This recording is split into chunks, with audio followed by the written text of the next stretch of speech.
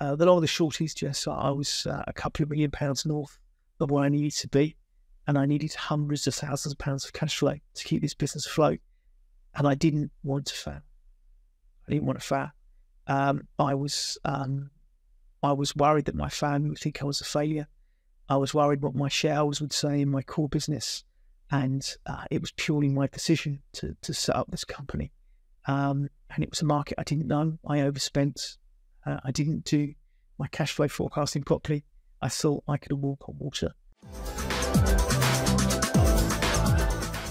Welcome to Beyond the Fail, the podcast where we talk to leaders and entrepreneurs about their biggest business failures. We'll deep dive into how they overcame these setbacks, the lessons they learned from them, all to help you gain valuable insights. Failure is an essential part of the business journey, as well as being the key to success. So we're here to show you how to thrive from it. Scott Russell is a London born serial entrepreneur, investor, and business mentor.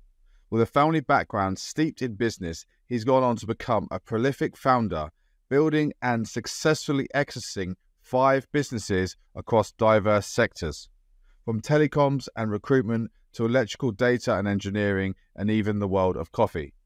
Scott's ventures have yielded a combined value of a staggering £50 million. He was also the Sunday Times' Tech Awards finalist for three consecutive years. In this episode, Scott is refreshingly open about the challenges he has faced throughout his career. He delves into the setbacks he encountered with an aviation recruitment business and how this experience was impacted by the aftermath of 9 11 and the lessons that it taught him about overextending and the importance of seeking guidance when you're entering into new industries. Today, Scott shares his insightful journey filled with triumphs and setbacks. He's got lots of practical advice to offer in regards to how to plan entering new markets, being strategic, managing cash flow, and the crucial skill of learning from failures. Has got so much wisdom to gain. Obviously, he's a very successful uh, entrepreneur, so you're really going to enjoy this episode. This is Beyond the Fail with Scott Russell. Scott, thanks so much for joining me today. Really looking forward to this conversation. So, Scott, take us back. Where did it all start for you in business? Oh, where it start. So uh, I come from quite an entrepreneurial family. So uh, my parents had their own businesses. My uncles and aunties had their own companies. So um, I was uh, born in Ilford, in Essex, but grew up um, with my grandparents and my parents in East London. And uh, we come from a family that were market traders, uh, that were car traders, anything to do where they could buy something for a pound and sell it for two. So uh, it was always embedded. It was always part of my life being around people that work for themselves. I don't think any of my close parents or family had jobs. They all work for themselves. And what were those sort of businesses, or what was the most, I suppose, successful business out of you know your family businesses? Well, being sort of East London family, uh, market trading was was probably the um, the, the, the, the chosen field. Um, so um, my parents had various sort of stalls from jewelry to fashion.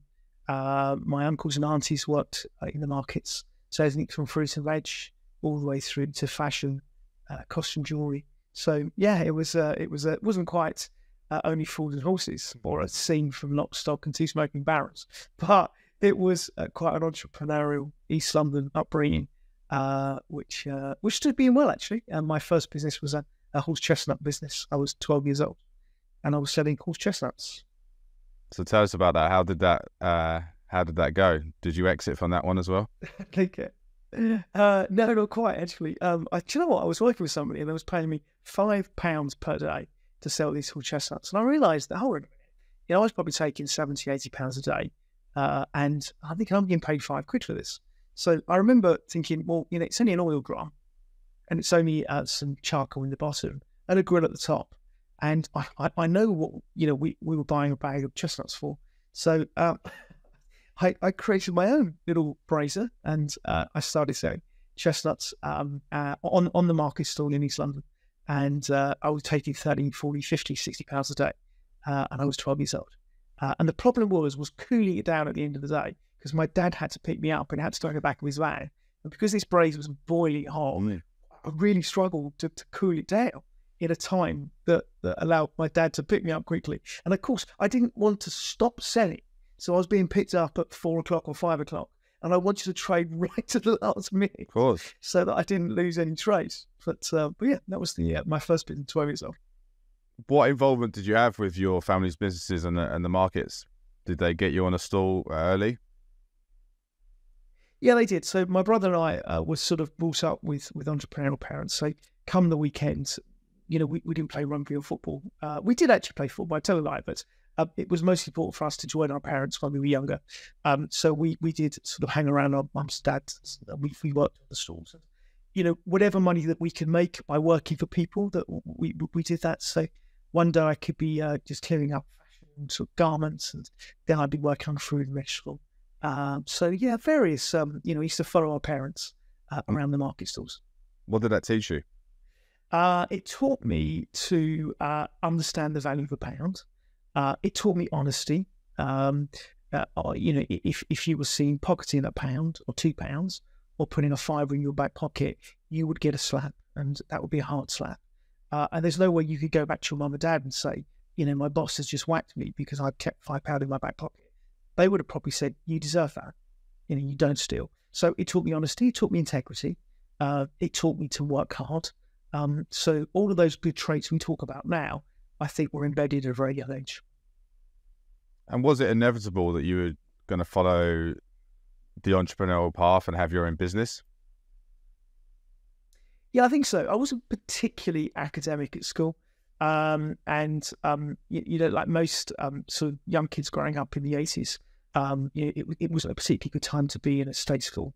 Um, there was lots of teacher strikes and it was the late 80s and, you know, you could bunk off school and no one would know that you bunked off for days. So it wasn't really a great learning environment. And, and the irony is I have four boys now, four, hmm. four sons, and they've all gone to private school. They've all gone to boarding school.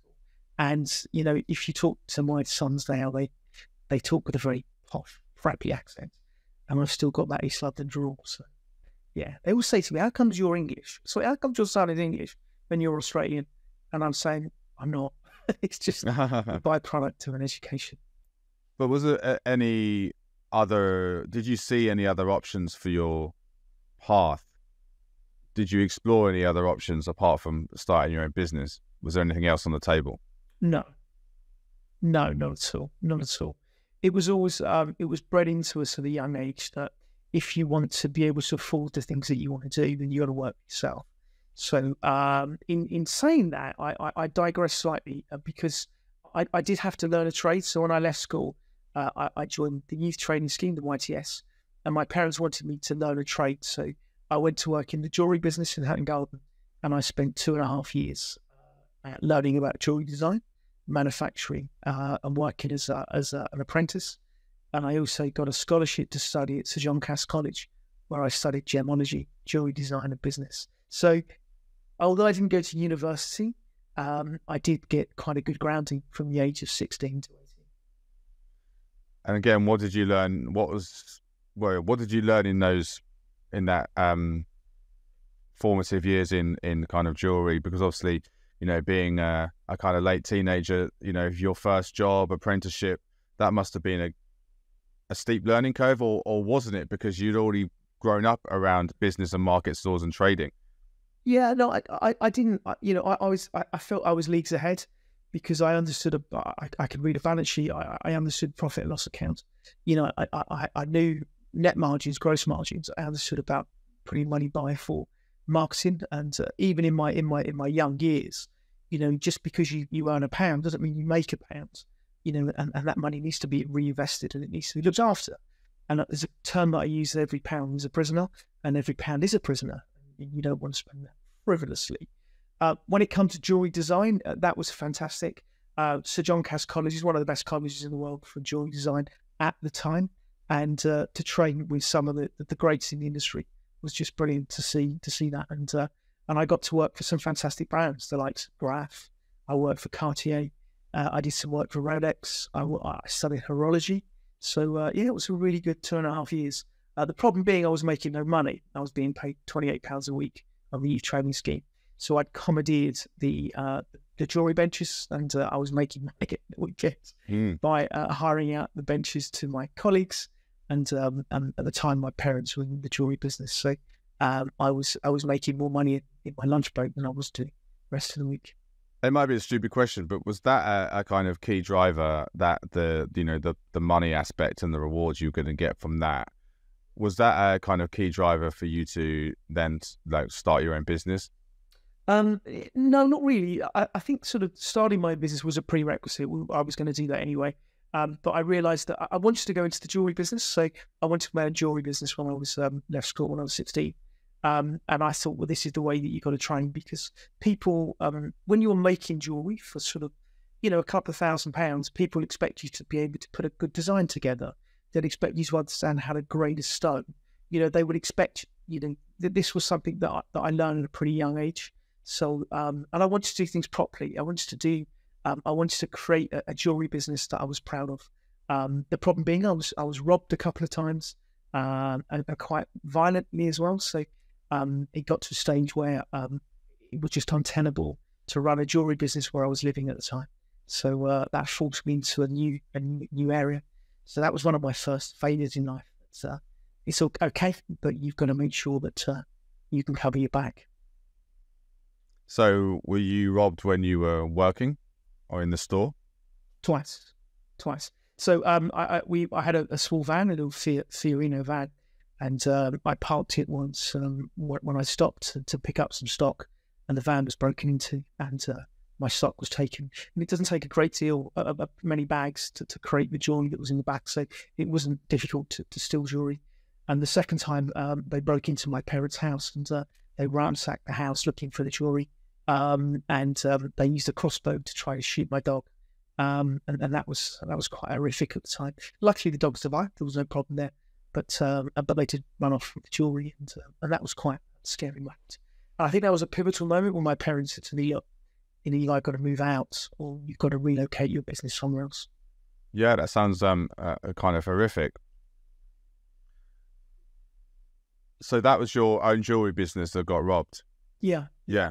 When we say I had a jewel, I had a jewelry store. Yeah. And uh, and I would I would buy jewelry. I'd repair the jewelry. Yeah. I would um I would um uh, polish it and then um so I'd buy at what we call scrap value and sell at retail value. Uh, and I used to operate on market stalls in East London. So um you know it was quite dangerous. I mean you know it was it was a time of early nineties. Um and you know I was a young guy on my own. Uh, you know you could be turned over pretty quickly uh, and fast as well. And and jewelry is very easy to steal because Mm. It's it's not bulky. You know, you Mm. can get a couple of thousand pound in your pocket and run. So, um, you know, that I was always on my guard. Um, and uh, although I was a little scrapper, a little fighter, you know, you're not going to fight, you know, three, four people that want to take your or someone with a crossbow. Yeah. I mean, it sounds pretty scary. So, I mean, obviously, that isn't the failure that we're going to kind of talk about today, but I mean, it does sound like that was quite a big kind of setback. What were the ramifications of that theft or those thefts? Well, obviously, I, I you know, I lost, I lost my business because um, you you can't insure against things like this, uh, and certainly I didn't have the correct uh, infrastructure to, to be able to get an insurance policy to cover me either. Um, and um, so yeah, it was a, it was a sobering time. Um, I thought I could bounce back from the first robbery, but um, I did bounce back from the first robbery, but I, unfortunately I couldn't bounce back from the second one, and uh, I decided a career change was required. Um, so then I uh, I got a job as a in London as a what we call an OPC, which stands for a, an outside people catcher.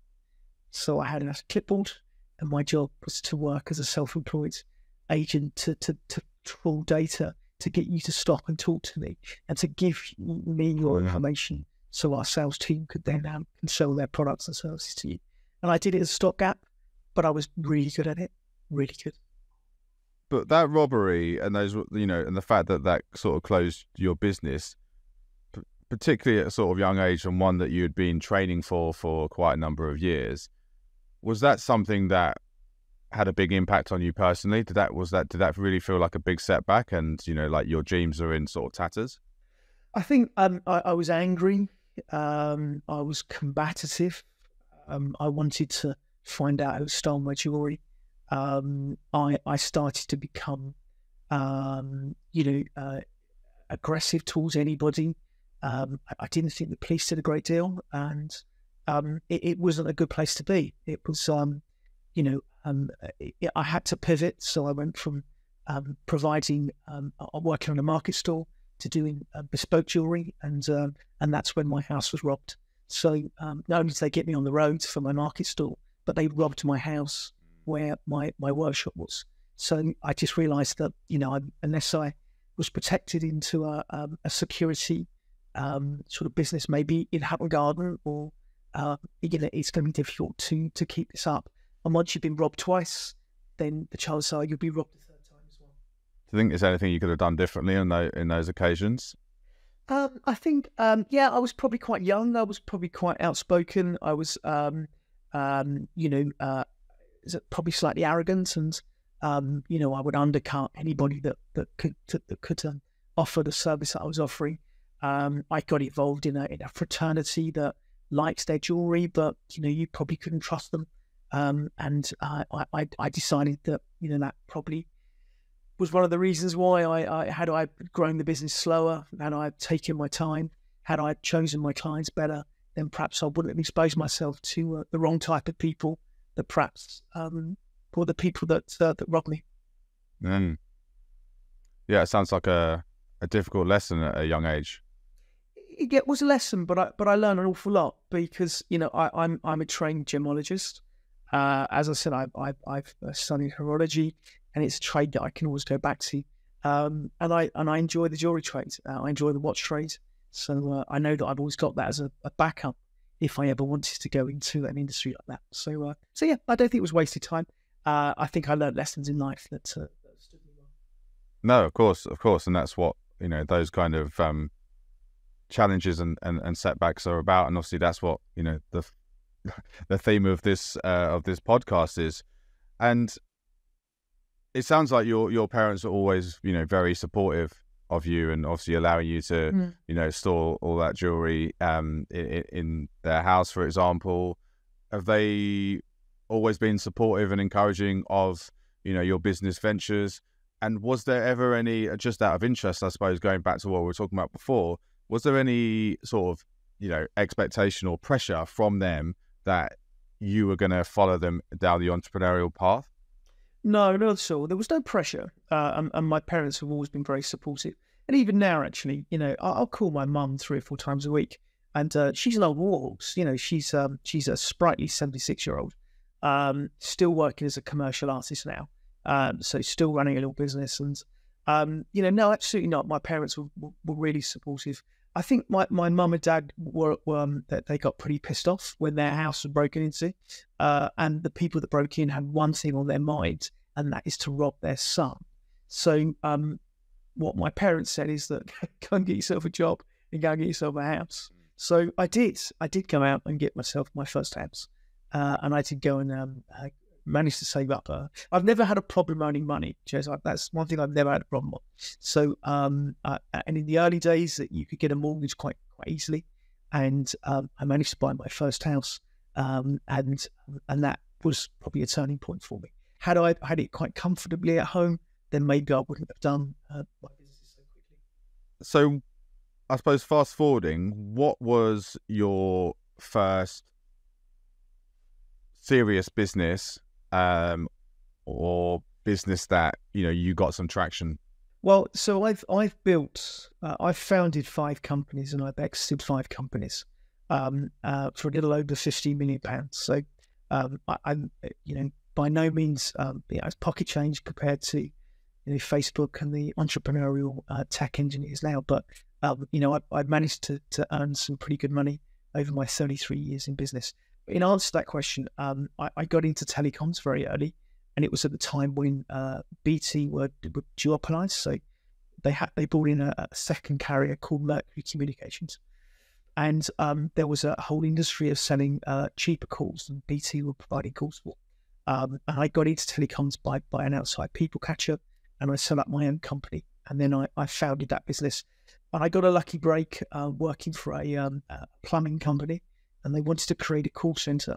And um, so um, these were before call centers were even heard of. It was, it was a quite a, an unusual concept. and I managed to design a call center, and I managed to work with them. Uh, but rather than doing it through um, through, through, a company, I, I, I did it as a joint venture. So to kind of very long story short, um, we we created one of the world's what well, were the UK's first uh, call centres that allowed inbound payments to be made over the telephone using your telephone keypad. Um, and I built that business and I sold it to GE Capital.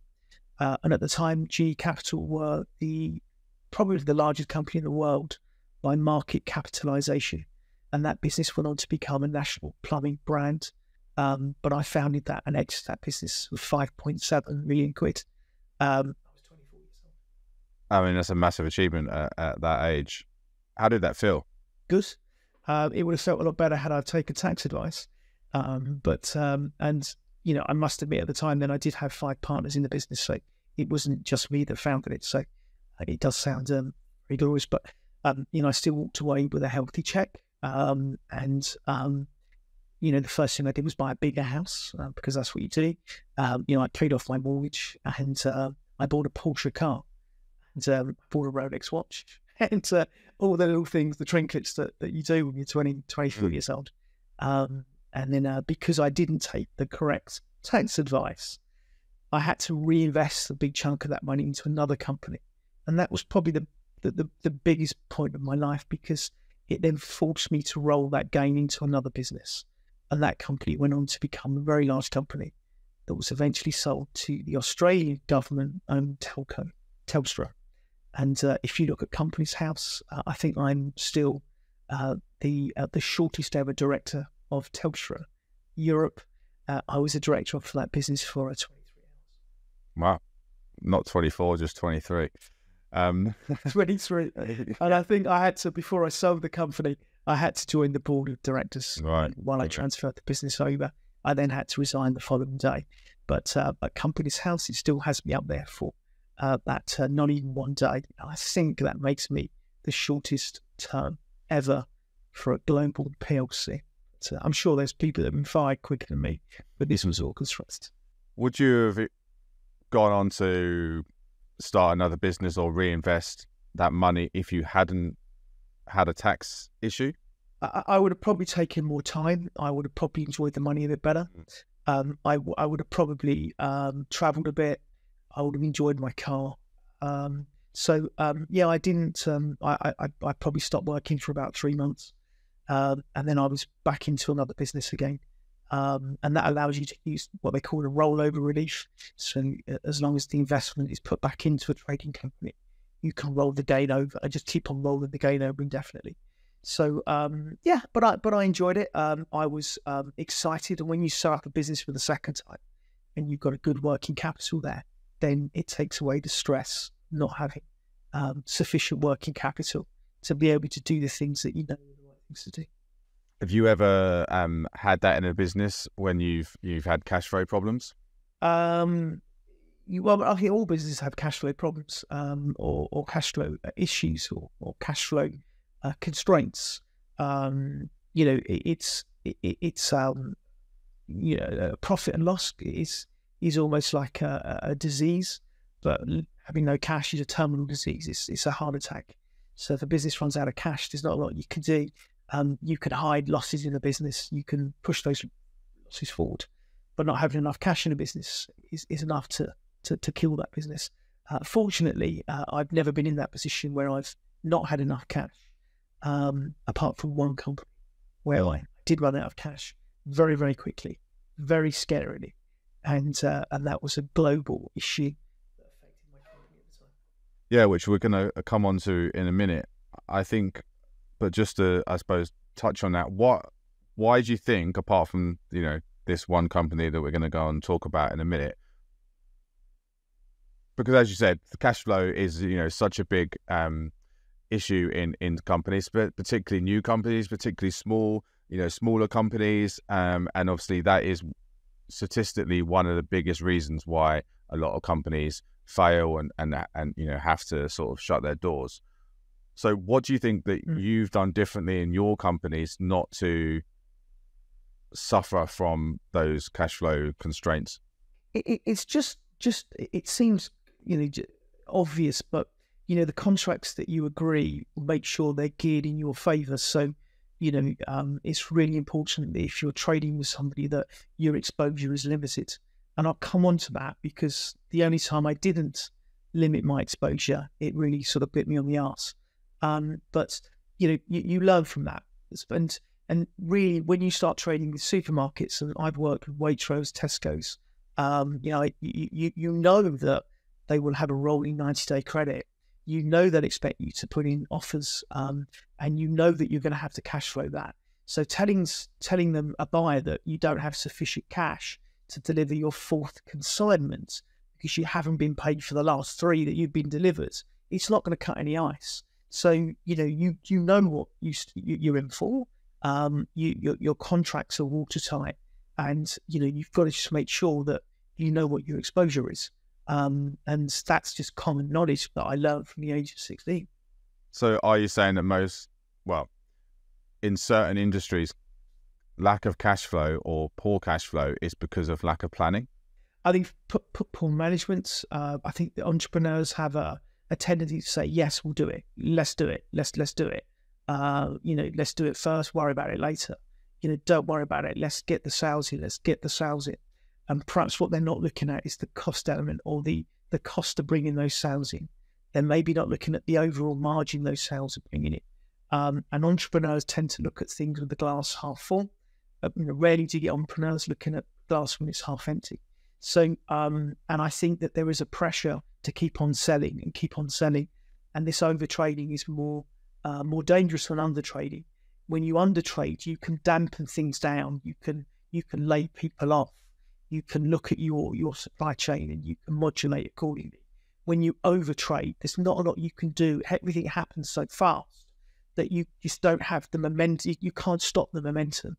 Um, and so that's why more companies tend to go bust from over trading than under trading. However, um, a company will go bust very quickly if it doesn't manage its cash flow. And what's the, I suppose, the things, the or the guardrails that people can put in place to avoid over trading? Um, you know, you have a plan and stick to it. You know, if your target is to turn over a hundred grand a month, um, then and you have another order coming in, then let that roll into the following month. The customer's not going to go away. They're not going to say, okay, because you can't deliver it in June, we're not going to wait to July. They will wait for July if they want to buy your product. But what you're worried about, you lay in bed at night, your blood sugar drops, you think about the worst things, and you know, you, you, you think of all these things that oh, the client's going to change their mind. They will not change their mind. What people seem to forget is selling is a coalition of the willing. It's about two parties that want to transact. Somebody wants to buy and somebody wants to sell but your mind is telling you the deal's going to fall out of bed. Your mind is telling you someone's going to come in and undercut you. If you do your job properly, if your product is fit for purpose, then the chances are it won't be undermined. It, it, it will go through. And I think that that's a problem that most entrepreneurs do is that they grasp at every opportunity and not realize the ramifications of cash flow. Mm.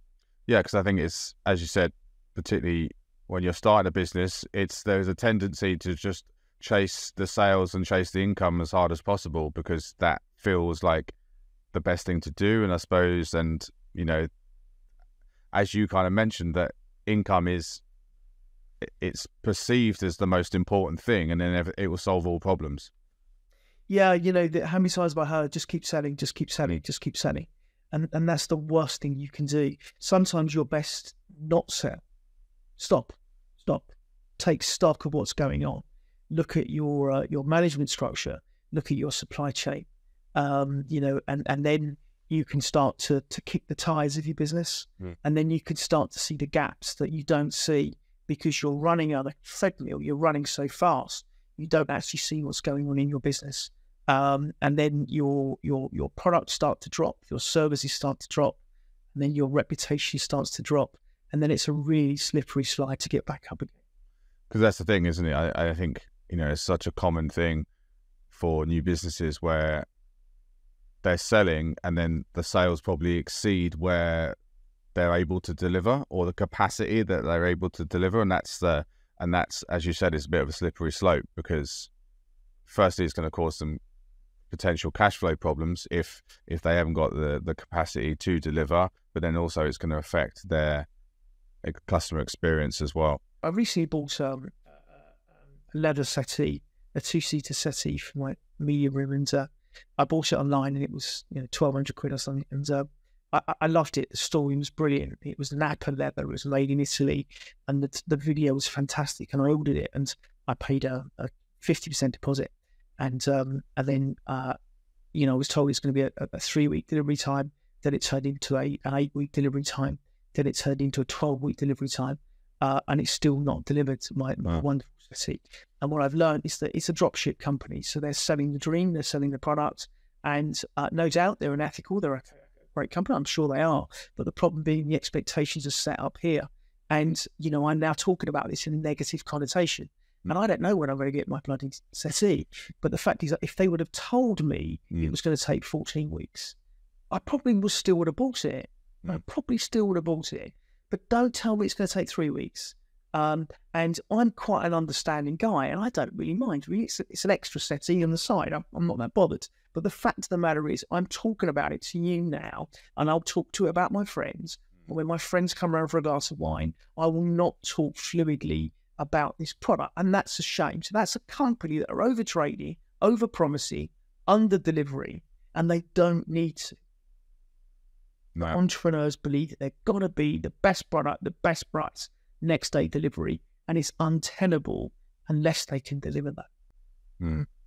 Which is, in some ways, the benefits or the advantages that Amazon's brought to the world, but also um, maybe a, a benchmark that not all businesses can deliver on, right? The expectations are so and benchmarks are so high because of of Amazon's ability to deliver, you know, within potentially sometimes hours. Amazon a, uh, they're they're a logistics big, a business.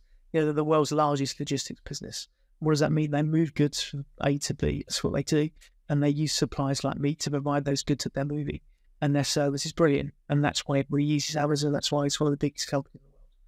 They they um, they underpromise and they overperform in many cases. And as you quite rightly said, I've sat at a dinner party where someone's orders up pudding wine on Amazon Fresh in London and it's been delivered by the time we finished that, that meal. That was a bottle of dessert wine, pudding wine, that was delivered before the end of the meal. And that's Back impressive. Yeah, hundred percent. So this um, this business that did have cash flow problems, tell us about that. So um, I was uh, at the time I was running a, a tech business. It was um, it was a digital. Well, actually, it was a, it was an electrical data and engineering business effectively we were, we were putting big uh, infrastructure cabling systems where um, the original Wi-Fi systems used to sit, uh, and we were working with hospitals, with the NHS, big big companies.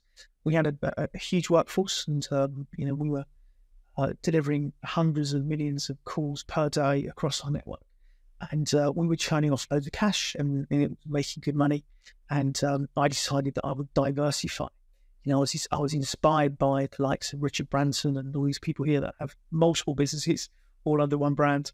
And um, and I, I thought, you know, I was talking to somebody actually at a football match. I was watching West Ham play, and I asked him what he did for a living, and he said, uh, "I mean, recruitment. That's what I do." Um, and I, I, I, couldn't get my head around how much money they were making in recruitment, um, and particularly uh, what we call contracted staff where they would put contracted staff into big companies. Uh, they would cash flow that and then they would get paid by the company on 30, 60, or 90 days.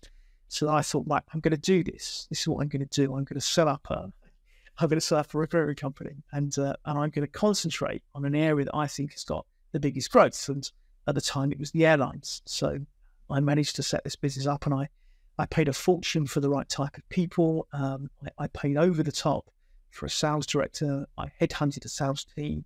I put an amazing office together in London. Uh, there was no expenses spared, and, and it was just it was all being cash flowed. Um, it was all being cash flowed through my other company. Um, and what happened is that uh, um, I was I was putting staff into the airlines working at like British Airways, Virgin Atlantic, uh, and then there was a global disaster that happened, and that was 9/11. And the last thing uh, that happened is that uh, we probably had 15, 1600 staff out there. that we were cash flowing, that we were that we were that we were paying and hoping to collect the money from the airlines and the airlines all started fading for a period of time. We're taking on no more staff um, and we're kicking back on the staff that we put in there that we'd already paid for. Uh, the long and the short is just I was uh, a couple of million pounds north of where I needed to be, and I needed hundreds of thousands of pounds of cash flow to keep this business afloat. And I didn't want to fail. I didn't want to fail. Um, I was um, I was worried that my family would think I was a failure. I was worried what my shareholders would say in my core business, and uh, it was purely my decision to to set up this company. Um, and it was a market I didn't know. I overspent. Uh, I didn't do my cash flow forecasting properly. I thought I could walk on water, and um, I ended up having to remortgage my house and uh, I pretty much sell most of my stock in my core business to get myself out of trouble. I did a voluntary liquidation and I did pay back all my debts and I did pay people uh, that were paid to work. Um, but I was really scarred from that whole experience. No, of course. And I mean, th- there's obviously a lot to kind of unpack there. I mean, it's obviously particularly, I would say, unlucky that you set up an airline recruitment business just before probably the biggest disaster to hit the airline industry ever. Um, yeah. And it would be, I suppose, it's an interesting question to ask. Do you think that that business would have survived if 9 11 hadn't happened? I, I think um, the the way that we geared the business was uh, the, the, offices were very lavish. We thought we had to be in prime location in London. Um, I paid an absolute fortune to bring on board the best salespeople that I knew operated in the industry. And um, it was the first time that I really started to invest the profits that I made in one of my other businesses into another company.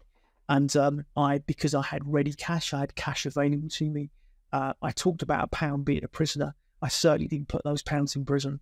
I certainly was very lavish. Uh, and I, I genuinely thought I could walk on water. Um, and I thought I could grow this and then exit this business and make millions um, and sell a business with recurring revenues with blue chip companies that I was working with. And uh, so, uh, you're in a very simple way. Could it have been a successful business? I think it would have been. I do think it would have been, but I was sailing very, very close to the wind. And had there not been 9 11, I think volatility in the world could have derailed that business anyway.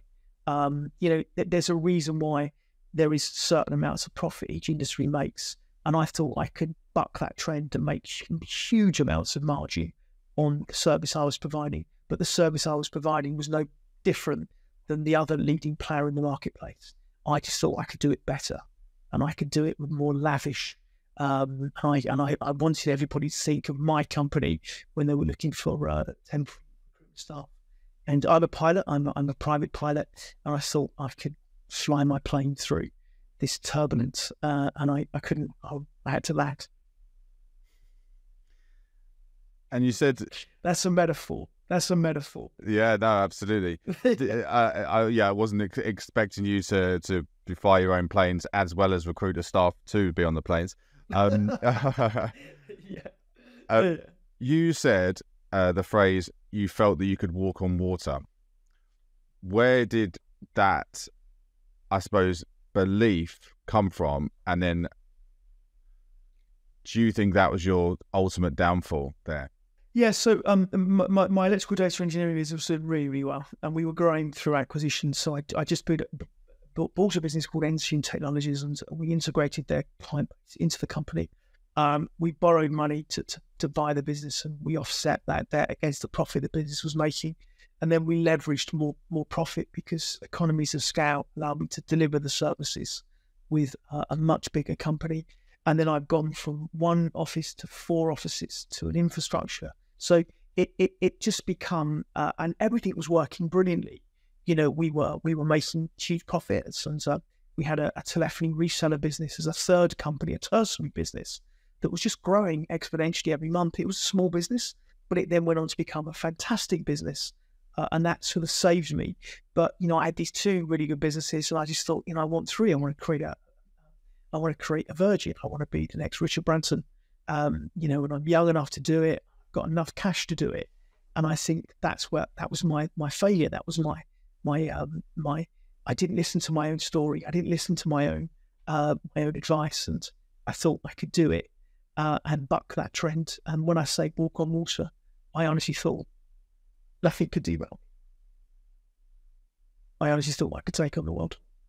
And what do you think you missed there in terms of your thinking? Because it sounds like you were, um, I suppose, maybe not thinking about all of the the different risks. And obviously, you mentioned that you were kind of maybe uh, spending more than you should have. Was that the only thing that you had kind of missed in your, you know, horizon scanning about potential potential risks and and what could actually go wrong? Yeah, I think that you know the, the, the airline industry is a global industry, and uh, currency fluctuations I didn't really look into. Um, I didn't really look at the impact of you know paying people in dollars but buying it in sterling. You know, paying people in yen but buying in dollars. Um, I, had no idea about sort of you know forex risk. Um, you know, even sort of HR. You know, we were a recruitment company, but I'm sure we were breaking all these HR rules by operating in different jurisdictions around the world. Uh, and you know, it just started to, to panic me, started to worry me. And and what do you do? You just keep, keep piling more and more cash in because you think, you know what, we're just going to keep on trading. We'll trade out of this.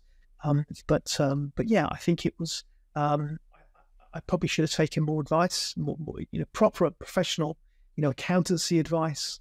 Um, I should have brought on board uh, a, rather than sort of damping down on on a, the best sales director and the best sales manager in the industry. Perhaps I should have brought on board a finance director perhaps I should have brought on board a compliance officer that that kept our business in check, uh, and I didn't. Um, and I didn't mind because I had this tap of, of, of, cash that I create through my other business.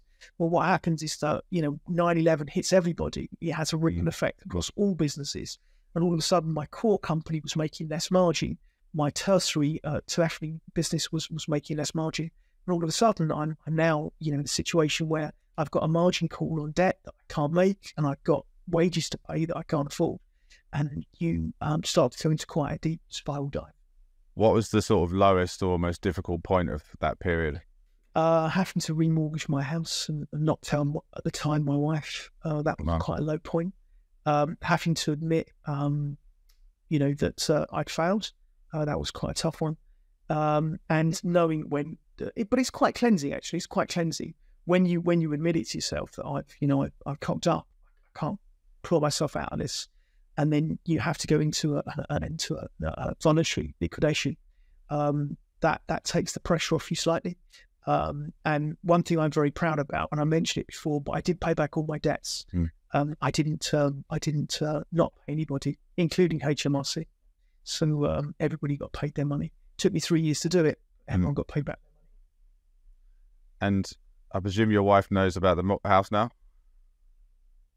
Uh, she's my ex-wife now. but it wasn't through that. it wasn't through that. Um, uh, yeah, but it was. Um, I I used to have to, you know, I, I sort of waited at the end of the, the driveway. We had this long driveway to our house, and um, I was, like, you know, I had to wait there for the post to arrive so that I could intercept the post before it actually got picked up. So uh, you know, that was uh, I was making out I was doing my stretching at the end of the driveway and doing my press ups against the wall, but really I was waiting for the postman so I could grab the remortgage document. Wow. Um, don't don't do that, everybody. Please, that that's not a cool thing to do, and hopefully that cannot be held in evidence against me. Uh, this was done many many years ago. Mm.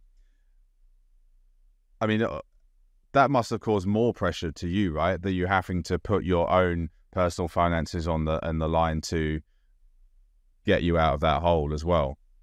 Yeah, but you, when you own a business, there's a fine line between personal finances and, and company finances.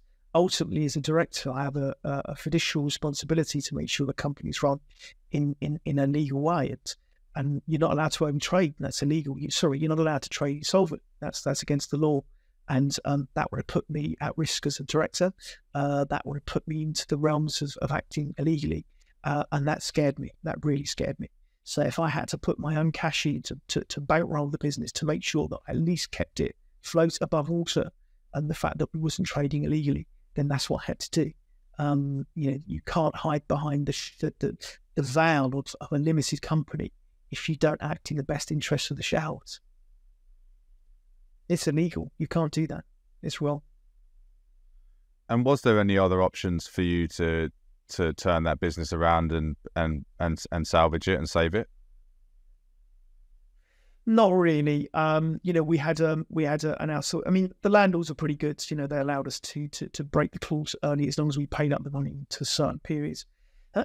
um, uh, we didn't have too much equipment on, on lease or anything like that, so we it was a, it was a quite a cash heavy business at the very beginning. Um, so we managed to, to to get out of it, and you know, it was still you know nine months later that the airline industry wasn't back to full to full capacity um, you know, uh, delays on the way that we board. It's the norm now. You know, mm. most of your listeners now see that it's normal to be able to take a hundred mil of water. You know, years ago you could just walk on a plane with a wherever you want, and you know, walk on with a gun. You know, there was none of this sort of security that we have now. So uh, it took, um, you know, uh, many many months and almost years for the industry to get back uh, to uh, to where it was. Um, and I had to concentrate on my core company um, so no, um, I decided it wasn't salvageable or sellable. The best thing to do was just to get rid of it. And you mentioned about the the goal, I suppose, and the motivation of trying to be, you know, like Richard Branson and Virgin and create this um, this kind of brand. But obviously, that company had nothing to do with the other company. Um, so do you think no. that you kind of, you know, just over kind of stretched yourself there, and you know, obviously you didn't know anything about the, the airline industry for well, you knew less about the airline industry than you did about um, telecoms. So, yeah, was that a, just a case of overstretching yourself? And then I suppose the second question to that is, did you ever try and then create that Virgin brand again, or did, was that like that's the end of me trying to be Virgin? Yeah, I, th- I, think sort of, you know, there was common shareholders between both businesses. Uh, there was no cross company guarantees or anything. So it was a standalone business and it had no connection to, you know, um, we were working with the NHS, we were working with big companies. And, you know, it was a, a, a successful business, the Europe Group. Um, you know, we are a PLC. So, you know, we had, uh, we, we had audited accounts. Um, so I wanted to keep that business completely separate to but I on our on our, our website, our global website, we had this sort of group company, and Ocean was on the group company website, and we soon took that off, um, so that we sort of hid that disaster. Um, but um, but yeah, no, um, uh, you know, growing a brand, um, a brand is is, is not. You know, we, we're going into a, slightly a tangent here, but a brand is much more than just a logo. A brand is is is how your consumers feel about your product. That's a true brand. A, a, brand isn't what you say about yourself. A brand is what other people say about you. A brand is a methodology. It's an ideology. It's it's so much more than just a product. And um, the Virgin brand, um, you know, uh, Sir Richard Branson is, is, is is one of those pioneers of creating a brand. And someone would argue that his brand stretched from Virgin Cola through to Virgin Brides to Virgin Records, to Virgin Atlantic, to Virgin Holidays. So, but you know, he's managed to do that, and um, because he's had that core running through that through that brand, we didn't understand that. We just thought a brand was various companies all doing pretty well, and that's not. That's a, a recipe for disaster. So you didn't try to repeat it at a later point. No, I built a, a hugely successful coffee company, and that's probably one of the best brands out there in the coffee industry at the moment uh, and that's a four impact company. And uh, I think that brand is a tree brand. That's a four impact brand, and I think that's doing really, really well. Uh, I sold that business in January this year, so um, and uh, it's now owned by a brilliant MBO team, uh, well financed and well backed, and you know that's a great brand. But it's not mm. that conglomerate. It's not yeah, yeah. mob sheep faceted. Mm. I just wanted to touch on um, something you said uh, earlier, which is obviously more about, about the personal impact of, of, of that failure. You you said a couple of times that you really didn't want that business to fail, and you felt the, I suppose, a personal um, impact of, of that on you. And I don't know if you used the word shame, but that's kind of how it sounded. You you felt that maybe you did you feel that you let your parents down potentially, or other people down? Um, I, you, you know, uh, we had a lot of staff at the time, and um, you know, we had different offices for, for the different divisions of the business, and uh, uh, and it, you know, word soon gets out that one of the companies is in trouble. Um, but it's not surprising actually because it, there was a global disaster. Mm. So you know the the the the, the knock on effect, the, the, the Richter scale there was was was pretty high already. So there was a lot of companies that, that were that were over this uh, this this 9/11 issue. Um, but I think yeah, there was a sense of um, um, you know, uh, yeah, it, you know, at the time I had a nice car, I had a director spot outside my offices, and you know, I, I thought I could, uh, you know, I had my handmade suits and uh, all the stuff that you thought were, was a prerequisite of running a successful business uh, in the mid '90s. Um, but I think it was just a shame actually of actually having a business that uh, I couldn't pay the bills. It's like having renting a house and not affording it.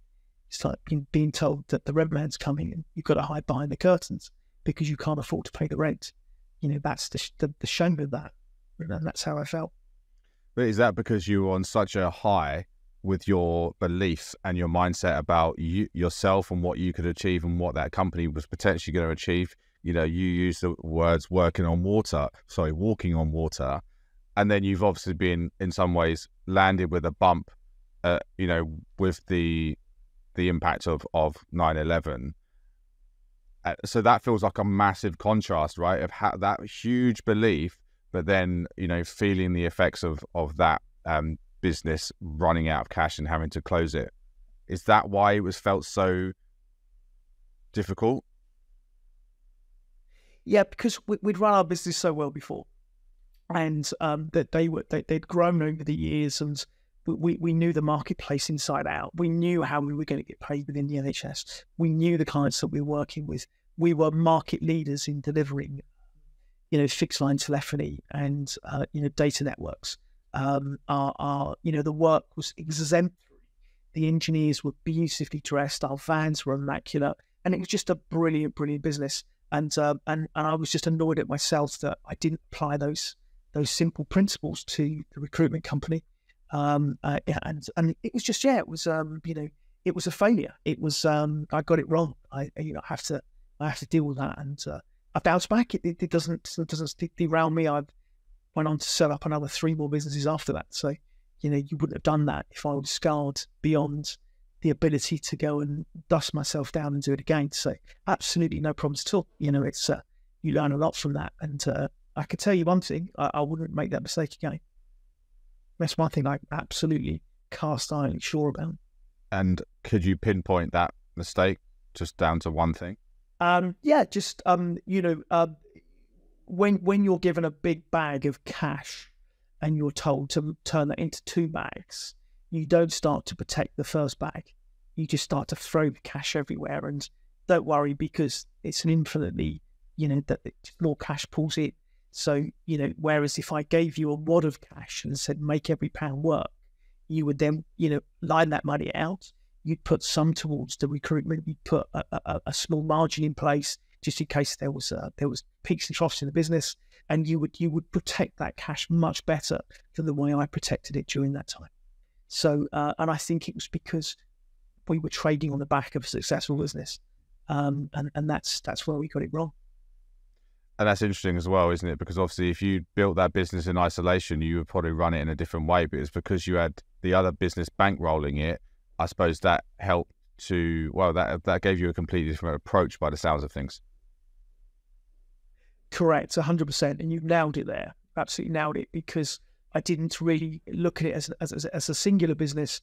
I looked at it as a, as as a business that was being funded to the other group activities, uh, and, and, that was my my downfall, and that was my uh, and I didn't um, I didn't want to ask. You know, I had a, I had a great FD in my other company, um, but my pride wouldn't allow me to talk to him and tell him that what's going wrong in this business because I didn't want him to tell my partners in the telecoms company.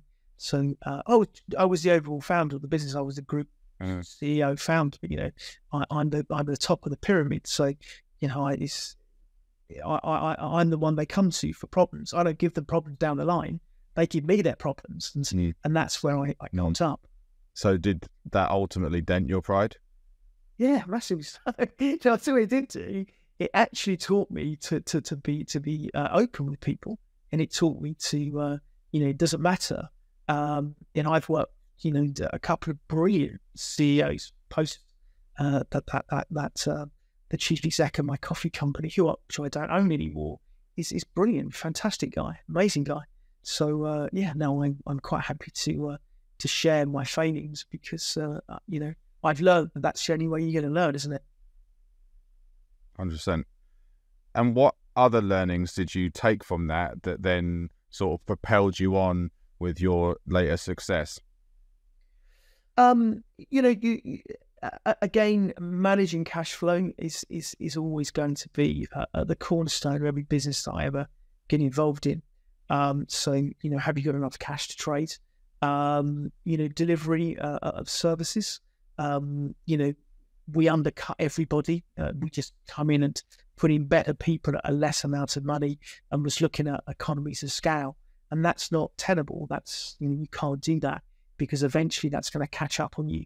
So, you know, just looking at, at the way uh, uh, I tend to reverse engineer businesses now, I tend to look at my exit plan at the very beginning and work out how I can engineer that over the, the three, five, or seven or 10 years it takes to, to get that exit over, over the line. And um, I tend to, when I start businesses now, uh, I am looking for that exit within that initial business plan, which seems a bit mad. It seems a bit sort of, you know, ask about it, but really um, that's that's that's how I look at business now as a vehicle to get to where I want to be.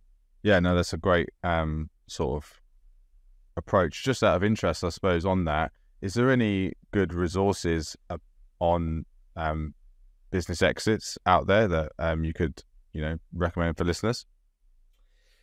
Oh, I don't know really. I'm not a great one for podcasts and that sort of stuff. So it's rare that I record a podcast and I'm, I'm doing one with you now. So um, and it tweaked my interest because you're not talking about successes, you're talking about failures. So that sort of tweaked my interest. And we had a good conversation beforehand. Um, but no, I, I probably, uh, I'm not really into self help books. What I think that you should do as, a, as, a, as an entrepreneur is get yourself a mentor, get yourself a business coach, get someone there that it isn't part of your business, that you don't have to report to, that you have confidence that you can share your your darker thoughts with and your happier thoughts.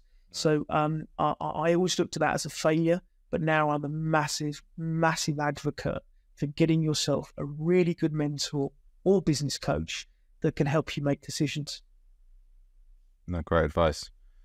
And I suppose one question I also had was how did you bounce back from that setback and, and that business closing, given, you know, that it, felt like or it sounded like it hurt so much? and obviously, you know, you had this debt overhanging you that you know you you paid off after three years, but obviously that was you know hanging over your head. How did you manage to bounce back? Because I'm sure there's people in a similar position that wouldn't be able to bounce back so easily. Yeah. So the, the reason we, we we say we as opposed to I because you know there was more than just me in this business. Um, what it allowed us to do was to was just cut cut this this business out of the company um, and it allowed us to focus on our core company, uh, and it allowed us to focus on growing our telco business. Um, and it and it focused us, and it allowed us to to just work really hard to make sure we could generate the profits to pay off the debt that we'd incurred. So um, we spent the next three years uh, really building this business, and uh, and then after that, the success carried on. It was like a snowball effect.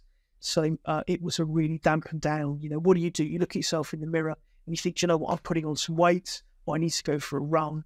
So you just go down the gym and you hit it hard and you hit it hard and then you start to feel good and you get this momentum. So we just focus on our core business and we just kicked into touch the old business with a payment plan to pay me back um, and, and didn't think about it again. Um, you know, and I, I probably would never ever go into recruitment again. It sounds like you were kind of quite pragmatic about it in the end. You've got to be. You've got to be. You can't go crying into your beer. You can't be sitting there sort of crying into a handkerchief and saying, "Oh, the world's dealt me a bad hand." You got to deal with that hand, haven't you? Uh, and I know that's easier said than done.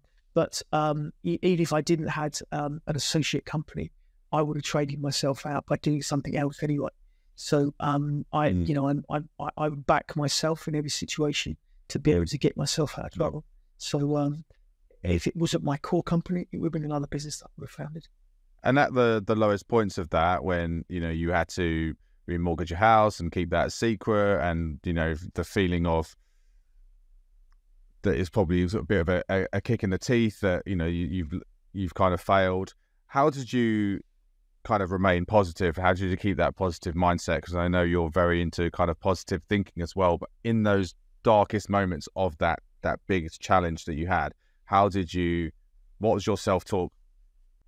Yeah, well, I got two children at the time. I had two kids, and um, you know, I had a, a supportive family behind me, um, and I had I knew I had a lot of ability to be able to trade out and to do it again. Um, so I didn't lose my confidence. Um, my confidence was still there. Um, you know, you, you, you just took a punch. You know, how does a, a boxer that, that, that's lost his first fight after 15 wins bounce back? You know, and, and it's just like that. You, you, it doesn't make you a, a, a worse fighter it doesn't make you any bad. It doesn't make you. It doesn't mean you've lost your skill because you've lost one fight. You know, you've won fifteen. You've lost one. Do the math. You know, um, I looked at the companies that I, I, I built, I'd sold, I, I was running. I looked at the clients that we were dealing with, and all of that was positivity. It was it was, it was positive, and you know, um, yeah, and, and, and, and that was it. it was it was a, it was a roadmap. It was a, you know, it was something that, uh, and you know, the thing is, don't do it again. That that's the key thing. You know, it frustrates me when I see entrepreneurs go bust three or four times. Uh, and this rubbish that you hear, especially in America, where they say, I'll only back you when you've had three failed businesses. I don't get that. You know, I will back someone if they've failed three times. You know, there, there, there's a trend being set there. So maybe I'm a little bit more um, careful with my cash, but, you know, I certainly wouldn't back someone that failed three times. You know, they're certainly not learning from their mistakes. Yeah, yeah, no, that that's definitely a, a kind of big policy for some VC firms, definitely in in America. So, what advice would you give to new entrepreneurs about handling the fear of failure? Because you mentioned um, that you didn't want to fail in that business, and I wonder if you had a bit of fear of of failing uh, as well potentially. But for anyone new out there, um, what advice would you give them around that? Yeah, so so the, the fear of failing is is natural. The fear of failing is is uh, it's it's embedded into our human DNA.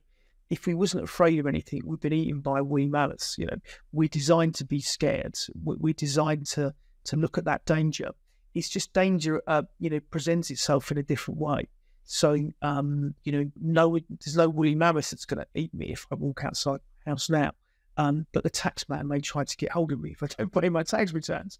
So that has the same primal fear. So um, I think that you know don't worry about failure because it's if you know about it, then you can address it before you fail.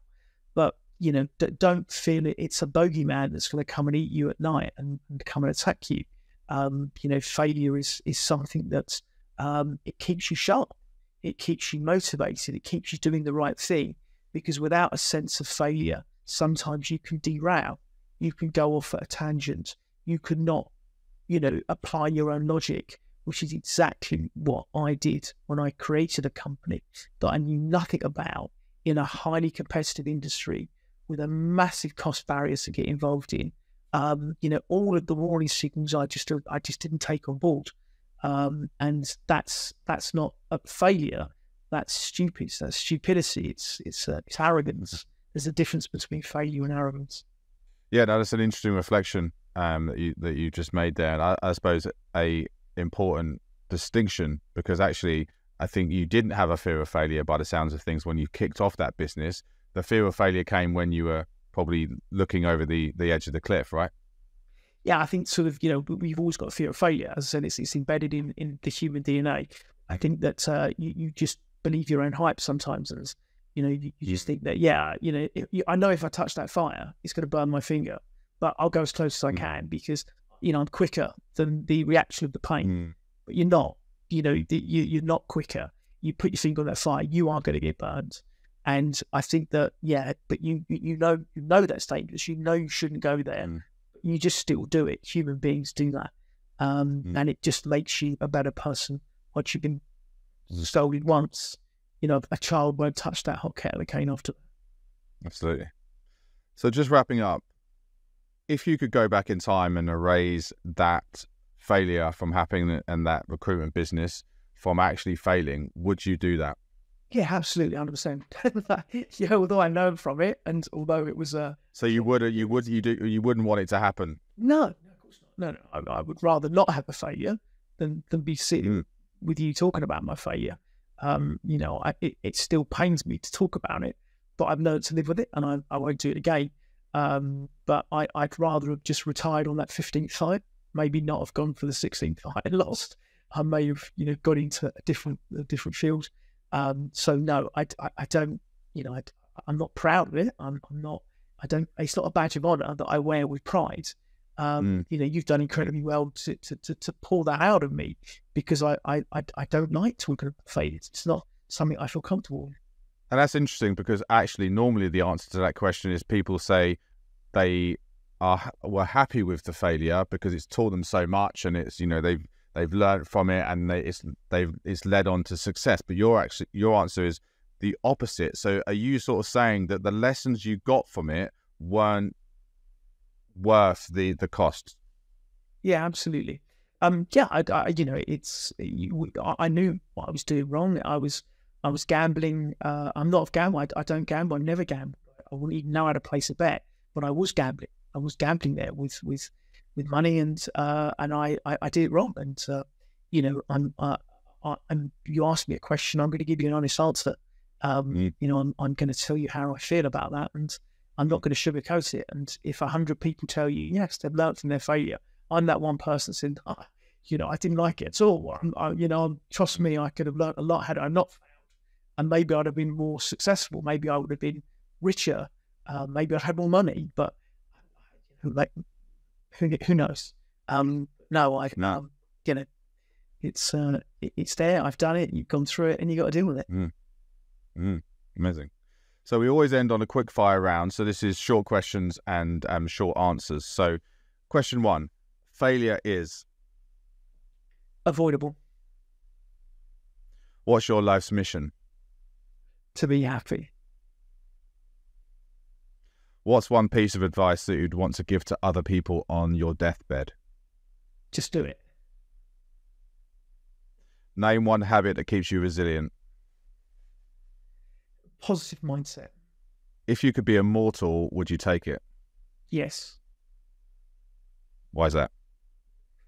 like I, I enjoy life. I, you know, it's, yeah, if I could live forever, I'd, I'd love it. You know, well, maybe I wouldn't. I mean, that's a tough one, but I have to sort of answer that quickly.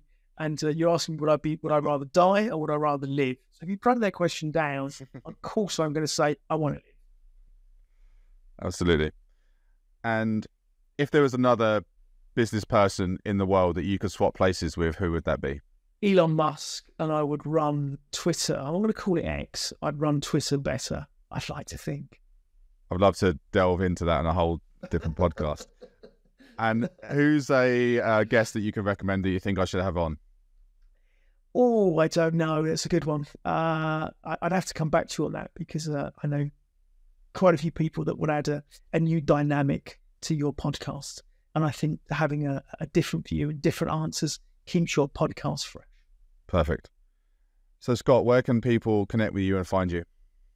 Um, LinkedIn is probably uh, the best place to find me. Just search my name, Scott Russell. Um, you'll see me on there, and uh, or you can follow me on uh, Instagram and uh, X if you want to. You're also at pains to say X there. Well, um, Scott, thanks so much for uh, for being here today and for your honesty. And I know it was a difficult conversation. You didn't like talking about failure, but I appreciate um, everything that you you know shared with everyone, and I know people get a lot of value out of today. So thank you very much. It's been my absolute pleasure. Thank you for listening to Beyond the Fail. Really hope you enjoyed this episode and learned something new. Please do subscribe to the show and leave us a review. It really does help us to grow and to reach more people. Do follow us on social media too. We're at Jeswood on Instagram and at Beyond the Fail on YouTube and also on Linktree. Thanks again and see you soon.